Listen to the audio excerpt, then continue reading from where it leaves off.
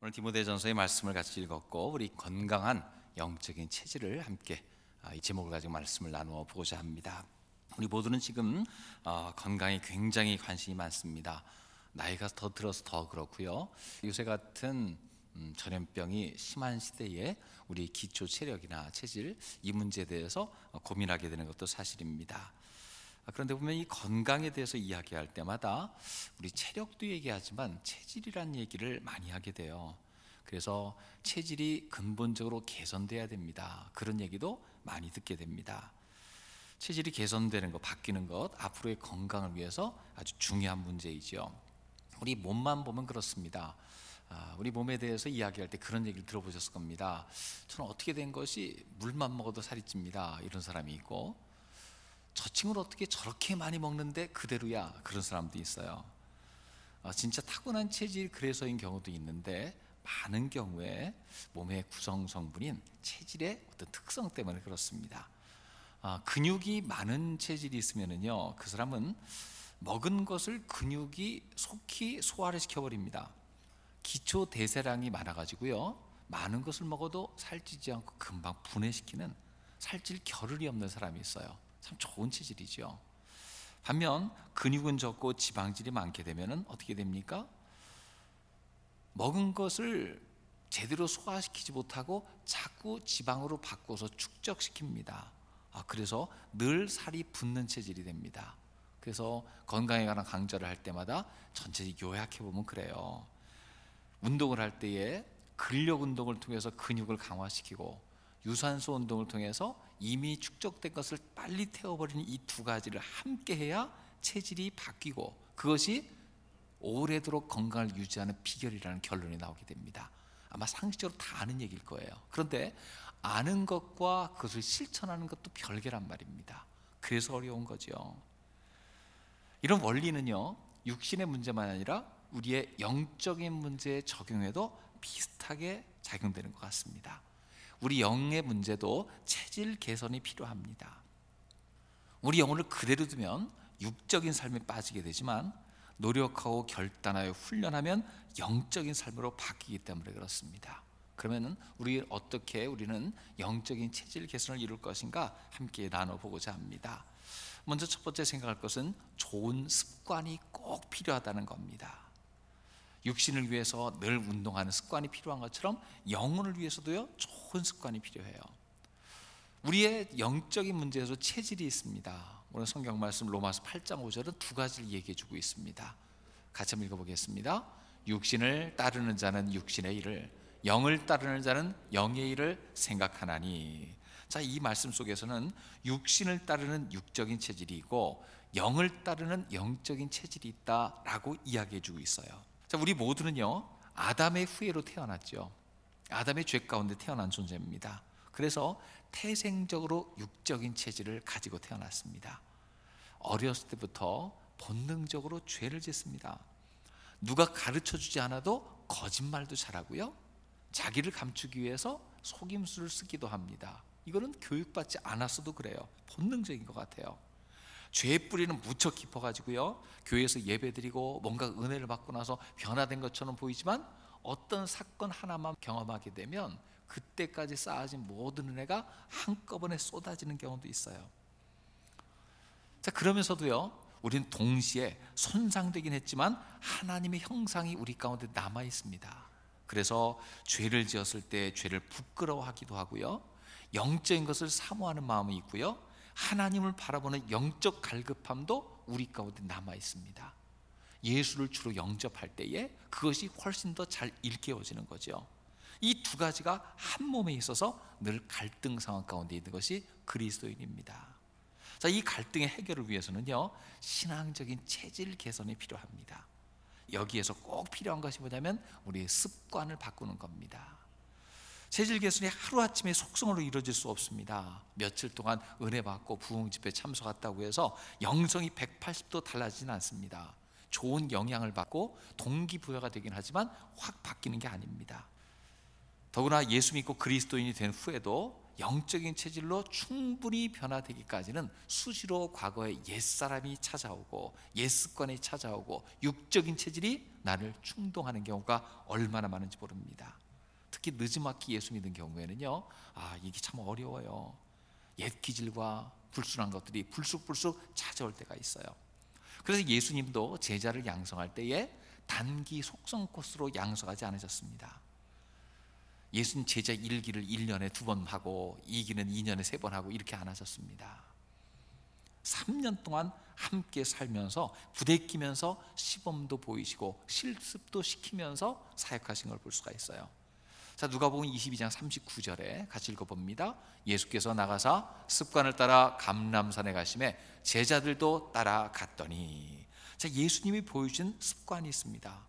감람산에 왜 가셨습니까? 습관을 따라 가셨는데 운동하러 가셨습니까? 분위기 환기하러 가셨습니까? 아닙니다. 기도하러 가셨습니다. 예수님이 가는 곳에 제자들이 따라가는 경우도 참 많았습니다. 비록 예수님의 기도처럼 기도하지는 못했지만 어쨌든지 따라가는 수고를 감당했고 예수님이 하는 기도를 보면서 기도를 조금씩 배워가고 기도해야 되겠다 마음 먹기도 했을 겁니다. 체질을 바꾸려면 한 번의 충격요법으로 안 되잖아요. 거듭되고 반복되는 것을 통해서 조금씩 조금씩 바뀌어지는 겁니다.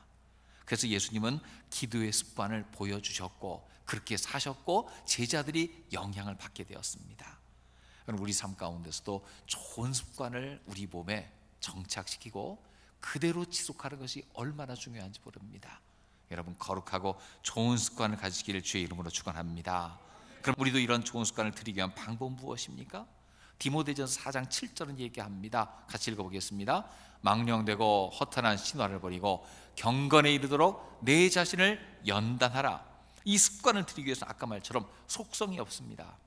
쉬운 길이 없습니다. 유일한 방법은 연단 받고자 하는 결단입니다. 한 가지 좋은 것이 정착되기 위해서 끝없이 단순한 것이라도 반복하고 지속하고 강해하게 되면 그것이 내 몸에 조금씩 붙게 됩니다. 체질 바꾸기는 거대한 영적 전쟁과도 같아요. 어린 시절부터 이런 훈련이 잘 된 사람은요 뭔가 다릅니다. 문제가 생기면요 잠시 낙담하지만 거기 머물지 않습니다. 속히 벗어나는 방법을 압니다. 낙심의 시간이 줄어듭니다. 왜냐하면 하나님 앞에 무릎 꿇기 시작했을 때에 낙심 대신에 새 소망을 갖게 되는 줄로 믿습니다. 위기 시에 육신의 요구를 거절하고 세상의 방법을 거절하고 하나님 방법으로 속히 가는 것 그것이 성숙한 신자됨의 표시지요. 오늘날 교회에 보면 영적인 그리스도인 성숙한 크리스찬이 참 필요합니다. 성숙한 성도들이 많은 교회는 어떻습니까? 화목합니다. 하나가 됩니다. 서로 다른 것을 용납하고요. 키워줄 줄 알고 연약한 자가 봐도요. 그 아래에 녹아져서 점점 더 성장하는 그리스도인이 되는 것 좋은 교회입니다. 복된 교회지요. 하지만 육적인 그리스도인이 많으면 어떻게 됩니까? 서로 다툽니다. 내가 옳다 그러다 이 싸우는 데 시간을 보냅니다. 서로 조금 다른 것을 틀린 것이라고 정죄합니다. 손가락질하면서 반목합니다. 결국은 분열의 영이 틈타고 선하지 못한 열매가 거기에 맺혀지게 됩니다. 저는 교회가 불날이 나가지고요. 1층과 2층에서 따로 예배 드리는 교회 가본 적이 있어요. 심지어 제가 거기서 교사를 했습니다. 그럼 생각했어요. 하나님이 1층 기도 들으실까 2층 기도 들으실까? 둘 다 아닐 것 같습니다. 예수 믿는 사람은 참 부끄러운 일이죠. 영적인 습관이 잘 들어있고 문제가 있더라도 그것을 용납하고 서로 대화하면서 풀어나가는 성숙한 성도, 성숙한 교회가 필요합니다. 육신과 본능을 따라가면은요 늘 갈등과 분열이 있지만 예수님의 습관을 따라가며 연단받게 되면 화목과 화해와 하나됨의 역사가 있습니다. 늘 거룩한 습관 가운데 복된 교회를 이루가는 우리 모두가 되시기를 주의 이름으로 축원합니다. 그렇게 좋은 습관이 필요하고요. 이 습관을 가지고 성장을 위한 노력을 하는 것이 참 필요합니다. 우리는 신앙생활 한 지 얼마나 되었습니까? 신앙생활에 연조가 있지요. 그러면 그 기간 동안 얼마나 거룩한 습관 가운데 성숙한 성품의 열매를 맺고 있습니까? 신앙생활의 횟수와 좋은 습관은 어느 정도 비례 관계가 있습니다. 그렇지만 항상 그렇지만 않은 것 같아요. 예를 들어서 우리의 건강을 위해서 헬스클럽을 꾸준히 다닌다고 칩시다. 그러면 몸에 근육이 생길 겁니다. 열심히 하면 괄목상대할 만한 변화도 있을 겁니다. 태권도장이나 유도도장에 꾸준히 다니게 되면요. 한 10여 년 다녔다면요. 아마 검은 띠를 땄을 것이고요. 건강도 실력도 증진되었을 것이 분명합니다.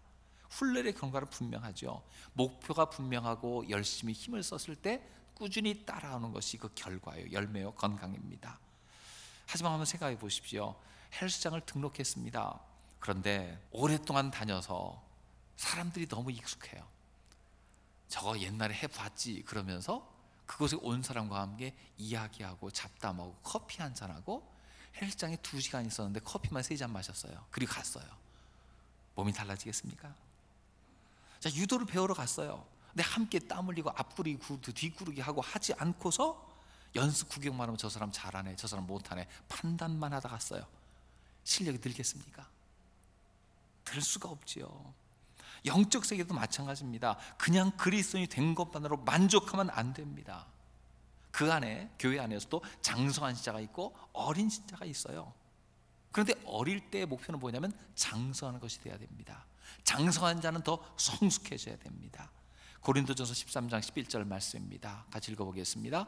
내가 어렸을 때는 말하는 것이 어린아이와 같고 깨닫는 것이 어린아이와 같고 생각하는 것이 어린아이와 같다가 장성한 사람이 되어서는 어린아이의 일을 버렸노라.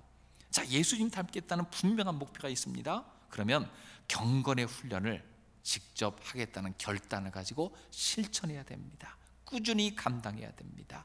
그렇게 훈련 받으면요 몇 년 지나서 기본적인 것이 다 끝나고 나서요 그 다음에는 남을 돕는 사람이 됩니다. 예전에 제가 섬겼던 교회에서 그 헬스장을 하는 집사님이 있었어요. 근데 그분이 그 가게를 자주 비워요. 근데 앵간히 잘 돼요. 아이고 이렇게 자주 자리를 비우세요? 했을 때 대답이 뭔지 아십니까? 예, 잘 키워놓으면 이분들이 알아서 가르칩니다. 그분이 방법이었어요. 오랫동안 다녔던 사람이 새 회원이 오면 딱 본 다음에 이거부터 하시오 가르쳐 준대요. 즐겁게 가르쳐 주고 그 사람도 성장하고 그래서 자주 자리를 비워도요. 오랫동안 했던 사람이 새로운 사람을 가르쳐주며 격려해 주니까 내가 자주 안 있어도 돼요. 심지어 아침에 문을 안 열어도요. 오래된 회원이 와서 알아서 열고서 운동하 나간답니다. 전 그거 보면서 그 생각했어요. 우리 교회 이랬으면 좋겠다. 목사가 일일이 간섭하지 않아도 오래된 신자가 성숙한 신자가 연약한 자를 돌보고 어려운 것을 돌봐주고 아 이런 모습이 자발적으로 있고 그 기쁨이고 즐거울 때에 그 교회가 진짜 좋은 교회 된 줄로 믿으시기 바랍니다. 아 그럼에도 많은 성도들이요 오랜 생활 신앙생활 했음에도 불구하고 의존적으로만 살아가는 분이 참 많아요. 스스로 자립한 신앙이 되어서 마땅히 다른 사람을 돕고 세우는 위치에 있어야 되는데 아직도 어린 신앙이 참 많아요. 어린 신앙일 때 하는 말이 있습니다. 맨날 상처받았다. 시험 들었다. 이런 얘기만 하고 있으면 내가 아직 어리구나.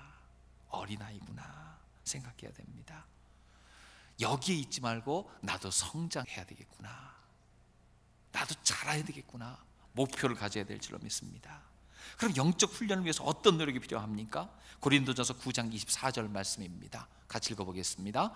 운동장에서 다름질하는 자들이 다 달릴지라도 오직 상을 받는 사람은 한 사람인 줄을 너희가 알지 못하느냐? 너희도 상을 받도록 이와 같이 다름질하라. 자, 운동 선수는 이기기 위해서 승리하기 위해서 준비를 합니다. 훈련합니다. 자, 남이 시키기도 하지만 결국 자신과의 싸움이에요. 상 받도록 열심히 자기를 연단합니다. 예전에 은퇴한 우리의 피겨의 김연아 선수가 있었죠. 참 그 선수가 공연하는 걸 보게 되면 시합할 때 보면 문외한이 볼 때도 탁월해요. 다른 경쟁하는 선수들과 수준과 그레이드가 달라요. 억지로 뛰는 점프를 보는데 자연스럽게 뛰어서 아주 가볍게 성공합니다. 그거 볼 때마다 와 잘한다 자랑스럽다 생각하는데 우리 뭘 봐야 됩니까? 그 뒤를 볼 수 있어야 됩니다. 저렇게까지 연기하도록 얼마나 수없이 저 점프의 완성들을 위해서 준비했을까?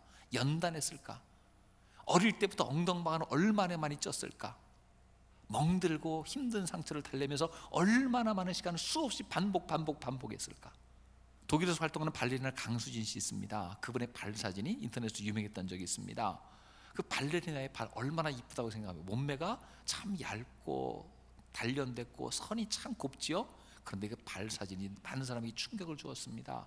발 전체가 혹이 나고 멍해지고 뚝살이 박히고 도무지 여인의 발이라고 볼 수 없었습니다. 아름다운 토우 슈즈로 가려져 있어서 보지 못했지만 그 안에 얼마나 수없이 많은 시간에 연단되고 훈련했는지를 그 우아한 동작이 나기 위해서 얼마나 많은 시간을 바쳤는지를 그 발을 보면 볼 수가 있습니다. 별명이 강철 나비인데 나비처럼 날아가는데 강철 같은 훈련을 거쳤던 거지요. 바이올린의 거장 정경화 씨가 있습니다. 엄청난 연습벌레로 유명하지요. 매일 고시를 치르는 사람처럼 연습한다. 누가 그렇게 평가를 했어요. 아름다운 선율 거장의 하모니 속에는 그와 같은 연단이 있었던 겁니다. 영적 세계에서도요 성장하기 위해서는요 상 받는 사람이 되기 위해서 노력하는 것 매일매일 연단하는 과정이 필요합니다. 고린도전서 9장 27절 말씀입니다. 같이 읽어보겠습니다. 내가 내 몸을 쳐 복종하게 함은 내가 남에게 전파한 후에 자신이 도리어 버림을 당할까 두려함이로다. 내 몸을 쳐서 복종하게 한다. 그렇게 이야기하고 있죠. 내 몸을 쳐서 복종하게 한다. 이 몸을 친다는 말은 운동 용어입니다. 권투와 같은 격투기의 용어입니다. 이 말은 뭐냐면요. 권투에서 상대방을 구석으로 몰고 가서 눕히듯이 힘을 쓴다는 거예요. 근데 그 대상이 누굽니까? 자기 자신이에요. 자기 자신을 쳐서 그로기 상태로 만들어 다운 상태로 만들어서 힘을 못 쓰도록 만드는 겁니다. 무엇을 얘기합니까? 우리 육적인 영역에 다운을 시켜서 육신이 힘을 못 쓰도록 만드는 거. 영이 활동하도록 나 자신을 단련시키는 것을 이야기하는 거죠. 우리가 하나님 앞에서 취해야 될 영적 태도가 이와 같습니다. 우리의 본성은 육적이에요. 죄짓기 바쁩니다. 그냥 놔두면 죄 짓는 대로 마음이 쏠리게 마련이에요. 그냥 방치하면 죄짓고 멸망길 갑니다. 이것을 아는 우리가 성령님을 의지해서 우리 육신을 연단하고 영적으로 살고자 하는 것, 나의 본성과 싸우는 것, 이런 결단이 우리 가운데 필요한 것입니다. 마치 권투 선수가 사력을 다해서 펀치를 날리는 것처럼 땀 흘리고 대가를 지불하는 것, 그때 보상이 분명히 있을 줄로 믿습니다. 매일 운동하면 몸이 건강하고 수치로 증명될 겁니다. 매일 엎드려 기도하면 영혼이 건강하고 형통한 삶과 평강의 마음이 우리 가운데 주어질 줄로 믿습니다. 여러분 영혼의 건강을 위해 힘써야 됩니다. 그냥 납두면 육적으로 살지만 예배하고 기도하고 하나님 뜻 따라 살기로 결단하면 매일매일의 우리의 삶이 영적인 건강의 체질로 바뀌어질 줄로 믿으시기를 주의 이름으로 축원합니다. 이를 막는 육적인 것들을 다스려 복종시키는 우리 모두가 되시기를 주의 이름으로 축원합니다. 그럴 때의 마지막으로 주님이 주시는 결실이 있습니다. 우리가 영적으로 잘 단련되고 훈련한 결과는 언제 검증됩니까? 시험을 만나면 검증됩니다. 위기 시에 검증됩니다. 평소에 준비된 자, 무방비 상태인 사람, 평신 구별이 잘 안 돼요. 근데 시험이 닥치고 나면 딱 구별이 됩니다. 위기의 상황 속에서 여지없이 드러납니다. 구약 성경의 다윗 왕을 보면은요. 나라에 큰 위기가 있었던 시기가 있어요. 블레셋 대군이 쳐들어왔습니다. 그래서 전열을 정비하고 있는데 그것만으로 두려울 지경인데 그들의 앞장선 선봉장이 골리앗이라고 있는데 어마어마하게 커요. 맞설 자가 없어 보입니다. 두려움 속에서 매일 그 위협하는 소리를 듣고도 아무도 나서는 자가 없었어요. 아무도 준비되지 않았어요. 그때 다윗이 나서서 한마디 얘기합니다. 사무엘상 17장 37절 말씀입니다. 같이 읽어보겠습니다. 또 다윗이 이르되 여호와께서 나를 사자의 발톱과 곰의 발톱에서 건져내셨은즉 나를 이 블레셋 사람의 손에서도 건져내시리이다. 자, 이 담대한 말이에요. 사울이 얘기하죠. 가서 가라. 여호와께도 함께 있길 원하노라. 사울도 준비가 안 돼 있었어요. 왕도. 그러나 다윗은 준비되어 있었습니다. 적에 대해서 뭐라고 얘기합니까? 능히 이긴다고 이야기합니다. 곰이나 사자와 같다고 이야기하고 있습니다. 다윗의 말이 허풍이었습니까? 아닙니다. 평소에 훈련되고 증명한 가운데 산 말이에요. 적은 첨단 무기로 무장했습니다. 블레셋 군대요. 선봉장은 대단한 거인입니다. 근데 다윗은 두 가지 준비된 거 무장한 게 있었어요. 첫 번째 영적인 무장이 되어 있었습니다. 하나님이 누구신지를 알고 담대했습니다. 저 앞에서 쫄지 않았습니다. 두 번째 필살기가 하나 있었는데 늘 훈련하고 단련해온 물맷돌 실력이 있었습니다. 그것을 가지고 곰도 이겼고 사자도 이겼습니다. 적중률이 높았어요. 아무도 보지 않는 광야에서 양떼들을 지키기 위해서 그 사자와 곰과 맞서 싸웠던 경험이 있습니다. 갈고 닦은 실력이 있었어요. 그가 국가의 위기 시에 거인 앞에서 이걸 쓰리라고 생각했습니까? 아닙니다. 평소 그냥 자기의 직무를 다하면서 훈련해 왔을 뿐입니다. 그런데 앞에 골리앗이 하는 말을 보니까 만군의 하나님 여호와 하나님을 비방하고 하나님을 대적하고 조롱하고 있어요. 그때 생각했습니다. 전 인간이 아니요 짐승이요. 크기만 큰 거 보니까 곰이나 사자구만. 결단을 했어요. 곰이나 사자에겐 물맷돌이면 되지. 지금까지 자기가 훈련한 것이 이때를 위함이 아닌가? 그때 서행한 거예요. 여러분 단련된 것만 쓰임 받을 줄로 믿습니다. 우연히 이길 수 있지만 한 번입니다. 요행입니다. 단련된 것만 쓰임 받습니다. 2014년에 월드컵 조별 예선이 끝났을 때 얘기예요. 허무하게 16강에 못 올라가고 끝났었어요. 뭐 그런 얘기만 했으면 언론에서 온갖 이야기와 분석들이 다 떠돌잖아요. 그때 그런 분석을 했어요. 한국 축구에 고질적 문제가 있다. 감독의 지도력이 문제다. 뭐 축구 협회 구조적 문제가 있다. 파벌 싸움이 있다. 온갖 얘기가 다 돌았습니다. 그때 감독은 그런 얘기를 했어요. 아, 젊은 선수들이 가서 그래 좋은 경험을 했다 그랬습니다. 근데 그런 얘기는 다 귀에 안 들어오는데 그때 귀에 쏙 들어온 얘기 하나 있었어요. 그 당시에 우리 크리스찬이죠 이영표 씨가 해설가였는데 그분이 한마디 했어요. 그 감독의 말에 대해서 이건 아니에요라고 하면서 월드컵은 경험하는 자리가 아니라 증명하는 자리입니다. 아, 그렇게 얘기했어요. 어우 마음에 확 와닿았어요. 경험하는 자리가 아니라 증명하는 자리다. 왜냐하면 월드컵 이전에 평가전을 통해 수많은 경험을 하게 했거든요. 다른 국가대표와 비슷한 상대들과 여러 번 평가전을 치르면서 경험하고 대비했습니다. 상대방의 강점도 알게 하고 약점도 알게 하고 우리의 강점, 약점, 전술과 전략 다 해볼 수 있는 경험할 수 있는 기회가 충분히 있었어요. 그러면 월드컵 가서는요 거기서도 경험합니까? 거기선 증명해야 돼요. 얼마나 훈련했고 얼마나 준비되었는지를 거기선 증명해야 돼요. 우리 그리스도인도 그렇습니다. 평상시에 하나님 안에서 잘 대비된 것을 위기를 만났을 때 증명하는 저 여러분 되시길 주의 이름으로 축원합니다. 너무 쉽게 편안하게 신앙생활을 해서는 안 돼요. 실력을 쌓아야 됩니다. 주로 위기를 통해서 실력 검증의 자리가 오는데 그동안의 신앙생활이 그때 많은 사람 앞에 증명될 겁니다. 어려움 올 때 누구라도 기도하지요. 그러나 평소에 기도했던 사람은요, 그때의 평소에 쌓아온 기도를 증명하는 자리가 될 줄로 믿습니다. 영적 체질이 개선이 되었기 때문에 시험은 고난이 아니라 오히려 하나님의 살아계심을 증명하는 자리가 될 줄로 믿습니다. 디모데전 4장 8절입니다. 같이 읽어봅니다. 육체의 연단은 약간의 유익이 있으나 경건은 범사에 유익하니 금생과 내생의 약속이 있느니라. 육체 연단 분명히 유익합니다. 그런데 하나님 앞에 경건하게 사는 것, 신앙으로 사는 것, 믿음으로 사는 것 범사에 유익합니다. 몸에도 유익하고요, 영에도 유익하고요, 우리 실생활에도 유익하고요, 우리의 범사에 적용되는 열매가 주어질 줄로 믿습니다. 여기서 우리의 연단을 방해하는 것들이 있죠. 그래서 몸을 쳐서 복종시키는 거예요. 다윗의 물맷돈 실력 하루 아침에 이루어진 게 아닙니다. 아마 초기에 어설펐을 때는요 양들을 여러 번 뺏기기도 했을 거예요. 이놈의 곰이나 이놈의 사자들 때문에. 점차 실력이 늘어나고 힘 조절이 되면서 넉넉히 이기는 실력으로 향상됐을 겁니다. 우리 교회에서도 마찬가지입니다. 매일매일 갈고 닦은 사람이 실력이 향상됩니다. 교회에서 봉사할 기회가 있습니까?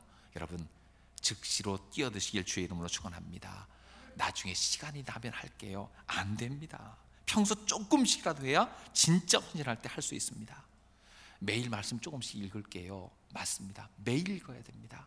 나중에 몰아서 며칠 휴가 받아서 한꺼번에 읽을게요. 안 됩니다. 쌓인 게 무서운 거예요.